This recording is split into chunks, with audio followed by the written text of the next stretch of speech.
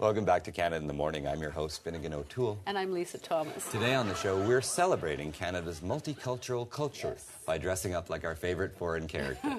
I am a Borat. Don't be ridiculous.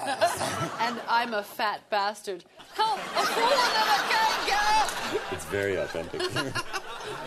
You know, the government has just announced some changes for Canada's newest Canadians fewer stripper visas and a harder immigration test. And to all of our new Canadian friends out there, bonjour. Les Canada, c'est your amigo.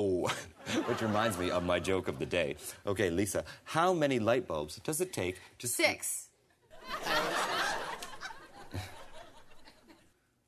Our guest today is Pamela Hopkins, who is here to tell us about the new immigration test. So, welcome, Pamela. Hi.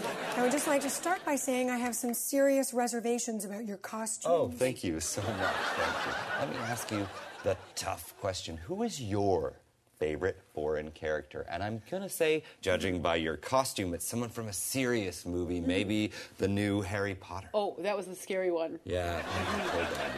I think we're getting off track here. I came here to discuss immigration reform. One time I tried to immigrate to Atlantis and it turns out it doesn't actually exist. You may want to put that on your new test. That is not what these changes are about. We need to encourage greater inclusion to head off intolerance and encourage democratic participation. This is a very important issue. Which is why we won't go there, although I would like to mention a delicious lunch I had at Burrito Boys. Oh, mm. How much fun is a burrito for lunch? Zesty. Yeah, going in and coming out.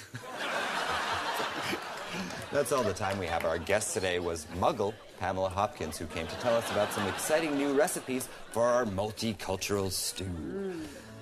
Bye bye. I'm hungry.